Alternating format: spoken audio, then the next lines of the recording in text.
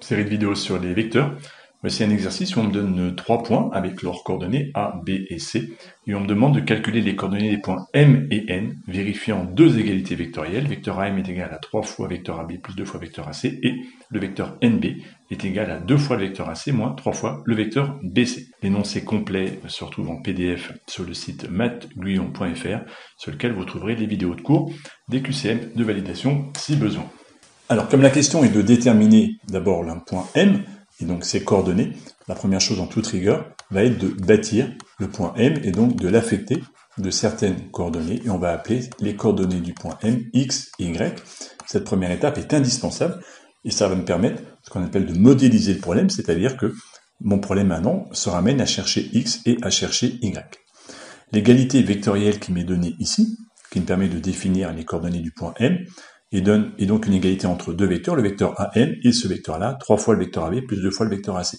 Ces deux vecteurs sont égaux, ils ont les mêmes coordonnées, donc l'idée va être de d'abord déterminer les coordonnées du vecteur AM, puis de déterminer les coordonnées du deuxième vecteur, et ensuite on pourra égaliser. Le vecteur AM a pour coordonnées, vous devez le savoir, c'est x moins xa et y moins ya.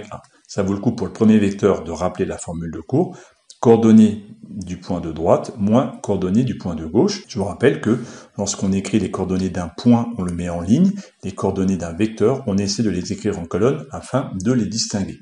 Et donc ça, c'est équivalent à dire que le vecteur AM a pour coordonnées x moins moins 3, on va faire directement x plus 3, et y moins 3. Attention, évitons ici un signe égal. On a des coordonnées de vecteurs. Le vecteur AM a, ça comme, a ceci comme coordonnées. C'est équivalent à écrire cela. Il est maladroit d'écrire des coordonnées égales entre elles. À notre niveau, il vaut mieux s'en dispenser. On va donc maintenant chercher les coordonnées du vecteur AB. Il n'est pas nécessaire de réécrire la formule de cours. C'est donc abscisse de B moins abscisse de A, moins 1 plus 3. Et coordonnées de B moins 1 moins 3. Voilà pour le vecteur AB ce qui est équivalent à dire que le vecteur AB a pour coordonnées 2, moins 4. Enfin, le vecteur AC a pour coordonnées abscisse de C 2, moins, moins 3, donc 2 plus 3, 5, et moins 4, moins 3, moins 7 directement. On a donc maintenant les coordonnées de nos trois vecteurs, AM, AB et AC. On a le vecteur AM qui est égal à 3 fois le vecteur AB, plus deux fois le vecteur AC.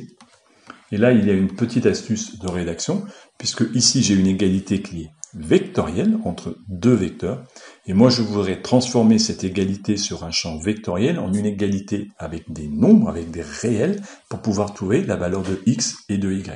Et on va dire que cette égalité, elle est exactement équivalente à une autre égalité, qui pour le coup maintenant va être avec des nombres réels, donc en fait on change d'univers entre ces deux égalités-là, comprenez-le bien, ici je suis entre deux vecteurs, mais les vecteurs ne m'amèneront pas directement en coordonnées. Donc de cette égalité-là, je peux dire qu'elle est exactement équivalente à celle-ci. Si deux vecteurs sont égaux, ils ont exactement les mêmes coordonnées.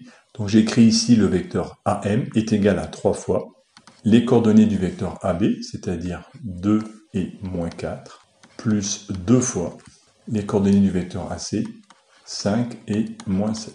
Ce système-là est exactement équivalent à dire que 3 fois 2, 6, plus 10, 16. Donc cette quantité-là fait 16. On a donc x plus 3 est égal à 16. Cette quantité-là fait moins 12, moins 14, soit moins 26. y moins 3 est égal à moins 26. Et ceci est équivalent à dire que x est égal à 16 moins 3, 13. Et y est égal à moins 26 plus 3, moins 23. On en déduit donc que le point M a pour coordonnées 13, moins 23. Au-delà de la réponse numérique de cette finale, attention à bien manipuler avec rigueur l'ensemble du raisonnement tout au long de la démonstration.